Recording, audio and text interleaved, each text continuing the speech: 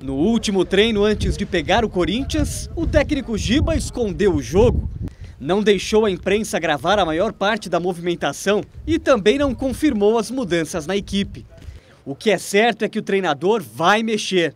Ele não gostou do empate contra o Osasco Aldax no sábado, quando o Paulista jogou o segundo tempo inteiro com um homem a mais e mesmo assim não conseguiu balançar a rede.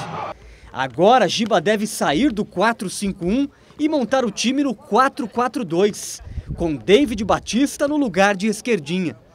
Patrick e David Batista na frente. Será que resolve? É, vamos ver, eu acho que sim. A gente tem o mesmo, quase a mesma função, mas ele cai mais pela esquerda e eu sou mais centralizado, mas eu acho que, que vai dar tudo certo. Com dois homens de frente, Giba quer surpreender o Corinthians. E espera que o ataque tricolor aproveite as oportunidades que aparecerem. A primeira você tem que fazer, não é?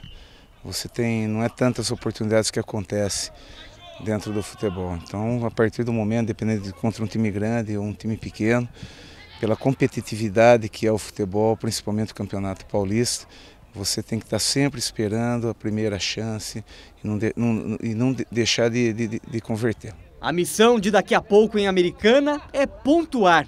Por isso, um jogador em especial não podia ficar de fora. Jean é o atleta com mais pontos no Paulista. Sozinho, levou seis contra o Osasco Aldax. Brincadeiras à parte, ele está de volta ao time.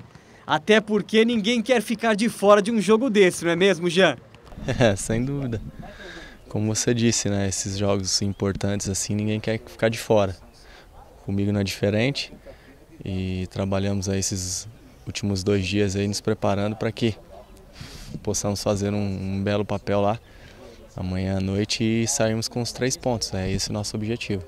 É com otimismo que o Paulista vai para a Americana, sabendo que as dificuldades seriam muito maiores se o jogo fosse no Pacaembu.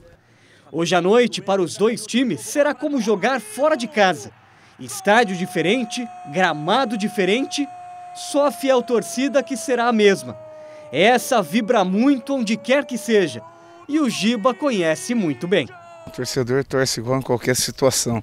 O que acontece é que os jogadores eles não estão adaptados àquele estádio, àquele gramado, àquela condição.